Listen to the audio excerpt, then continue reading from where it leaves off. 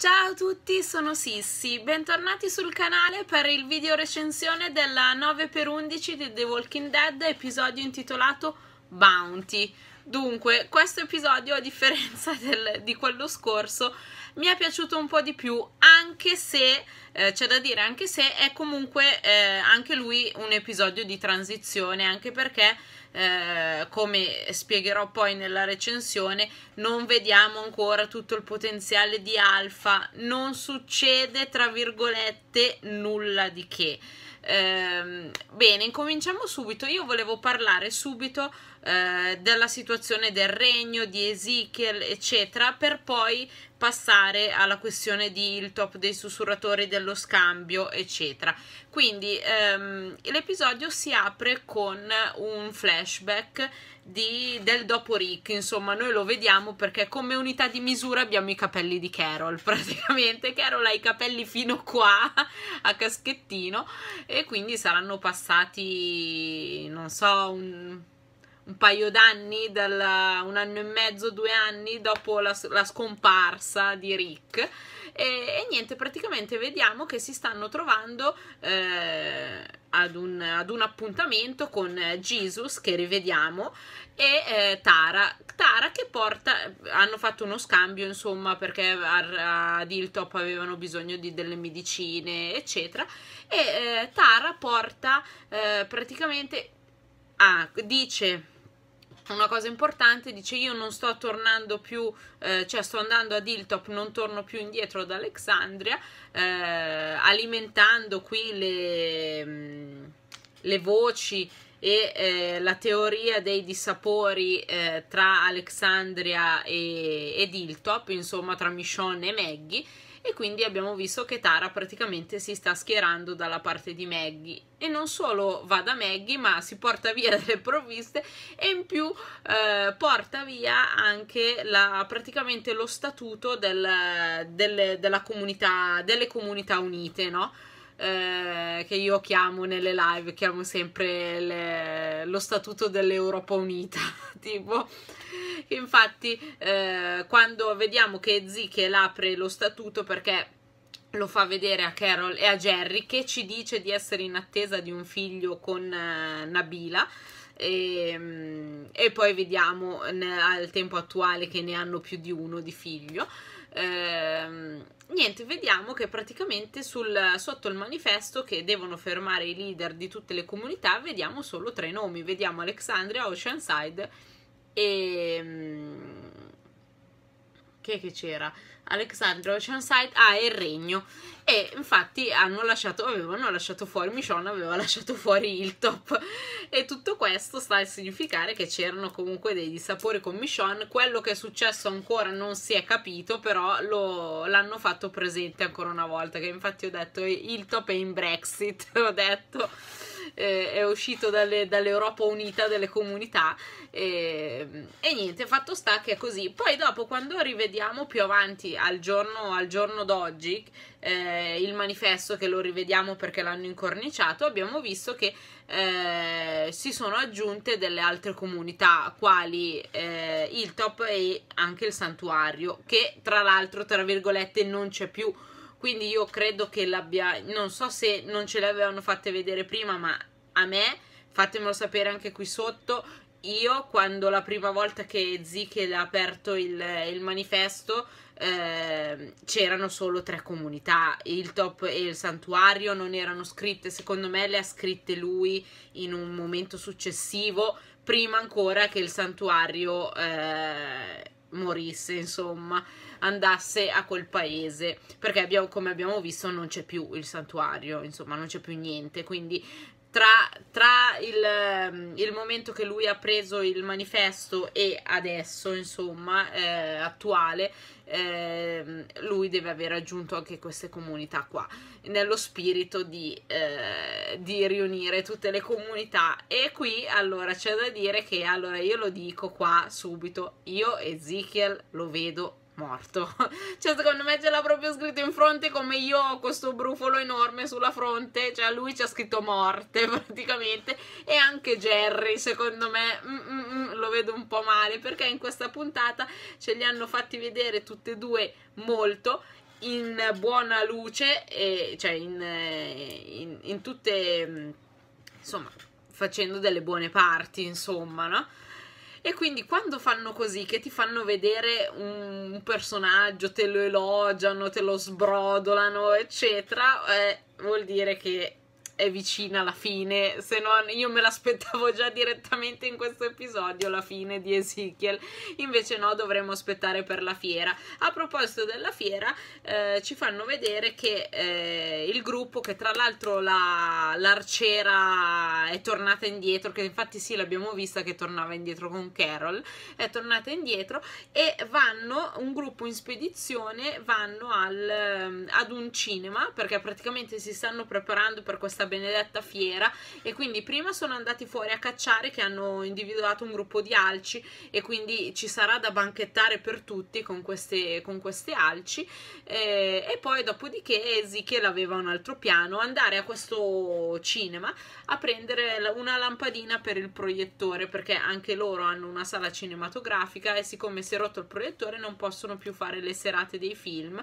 e quindi lui vuole fare anche questa cosa per eh, insomma per, per, la fiera, no? Quindi per lo spirito della comunità, perché deve essere un momento di festa, un momento gioioso, un momento di convivenza pacifica tra tutti, eccetera. Quindi e lui è tutto, è tutto incentrato su questa cosa che infatti, infatti è questo che eh, gli faceva lampeggiare in fronte morte, morte, morte, perché ne sta parlando troppo bene di questo evento, del futuro, eccetera, e che quindi quindi mm, io la vedo grigia, anzi nera la vedo. E, ehm, e, niente, quindi si conclude così dopo varie peripezie, perché per zombie, eccetera, dovevano mettercela un po' di azione, ovviamente. Eh, riescono a prendere questa lampadina, tornano indietro. Eh, passiamo a, a Hilltop e alla questione dei sussurratori. Dunque, c'è fuori Alfa con una parte di gruppo che vuole sua figlia Daryl va e gli dice assolutamente no, non te la do. Lei gli dice risposta sbagliata. Ah, perché premesso, lei dice avete trapassato la nostra terra, non ci saranno conflitti, avete ucciso dei nostri, non ci saranno conflitti. L'unica cosa che vi chiedo è mia figlia indietro. Lui, Daryl, gli dice di no, lei fa cenno e arrivano altri addirittura, arrivano altri membri del gruppo per dire che sono in tanti e lei dice guardate che se non mi ridate mia figlia eh, ci sarà un conflitto. Daryl fa il figo gli dice ah guarda che noi abbiamo le armi possiamo spazzarvi via tutti quanti in, un, in due minuti. Tac no? Da, da milanese imbruttito così no quindi lei tira fuori l'asso nella manica, tira fuori Alden e eh, Luke. In tutto questo c'è la sordomuta Connie che è nascosta nel, nel campo di mais perché non aveva fatto in tempo ad entrare. E qui c'è la scena più bella della puntata, secondo me, perché secondo me questa è stata la scena più bella. Ehm, la scena quella del neonato, che tra l'altro, anche se ci sono un po' di incongruenze, perché, e ve lo dico subito, perché eh, nel gruppo di Alfa c'è una donna con un neonato, insomma, che si porta in giro suo neonato. Questo neonato comincia a piangere, non riesce, non, lei non riesce a farlo smettere e si vede dietro che stanno già arrivando gli zombie, no? i morti. E, ehm, e Alfa che eh, aveva già dato ordine a due di tenerli in zona, però comunque alla larga dal gruppo, no? E, ehm, e niente, fatto sta che la madre non riesce a calmare sto bambino e Alfa gli fa cenno, gli dice eh, mollalo, eh, perché Alfa dice, fa, questa, fa questa similitudine con gli animali, no? E praticamente dice che loro sono animali che vivono così, vivono tra i morti e, e niente, quindi questo è il prezzo da pagare, insomma, no? E qui vediamo, cominciamo a vedere un po' la deviatezza e la spietatezza di Alfa anche se non, mm, non ancora una minaccia vera e propria perché vabbè questo è il modo di, suo di pensare sono le regole del suo gruppo però eh, non è ancora uscita verso gli altri questa spietatezza no? E, ehm, che deve arrivare perché eh, dovrà arrivare prima o poi no?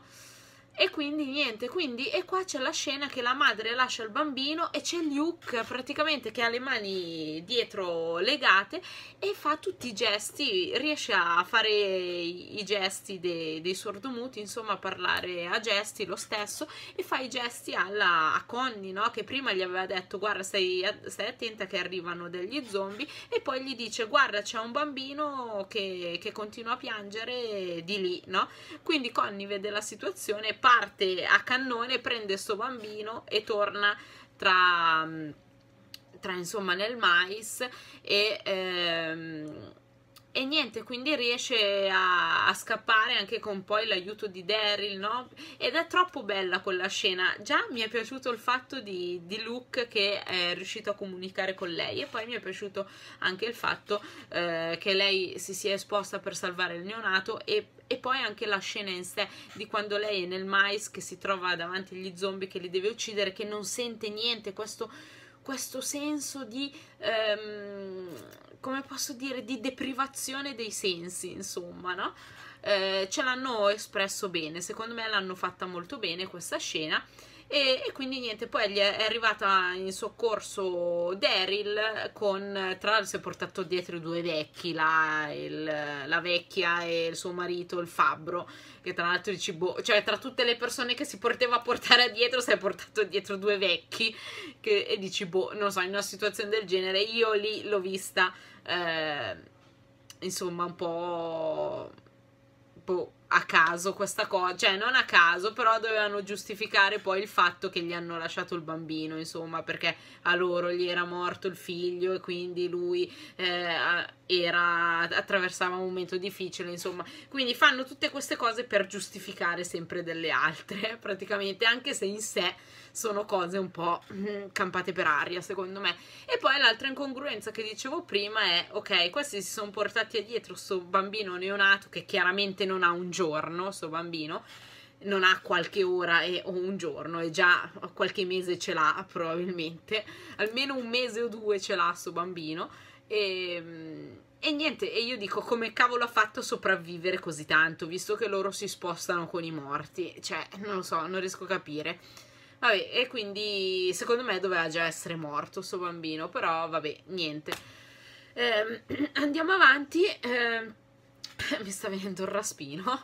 E niente, praticamente, eh, intanto che Daryl si sta occupando di questa cosa del figlio, eh, dovevano portare, finalmente si è deciso che doveva farlo subito, secondo me, di, di consegnargli la figlia ad Alfa ehm, perché che cazzo ce ne fregano i di Lidia, niente, ce ne fotte sega praticamente.